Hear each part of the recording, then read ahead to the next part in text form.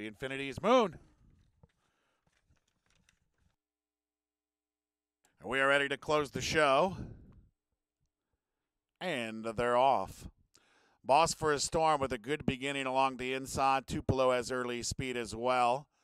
Just behind him, Big Red Brown is there. Cherokee Band. And then it's Rebel Road, who's now on the inside fifth. Big Yum is with him. Infinity's Moon is on the far outside, about 630 lengths behind, and the trailer is Boondock Biz. So it's Boss for a Storm just in front of Tupelo. Cherokee Band is right there. Rebel Road is advancing up the inside. Big Yum is currently fifth. All is Big Red Brown along the inside. You'll find Boondock Biz and Infinity's Moon Trails. The leader is Boss for a Storm. Now Rebel Road is moving up on the rail, and Cherokee Band is attempting to run a good one. Right between those rivals, that's Tupelo. And it's a Storm and Cherokee Band with Rebel Road trying to split them at the top of the stretch.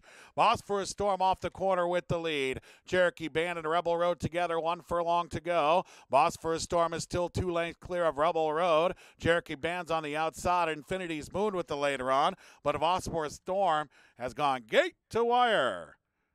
Cherokee Band was second, Rebel Road third, Infinity's Moon finished fourth.